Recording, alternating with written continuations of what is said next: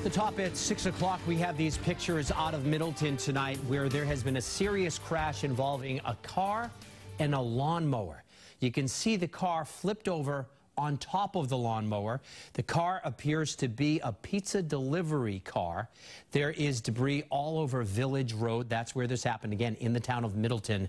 Boston Medflight confirms that they've been called in to take one victim to the hospital. Of course, we will continue to follow this breaking story.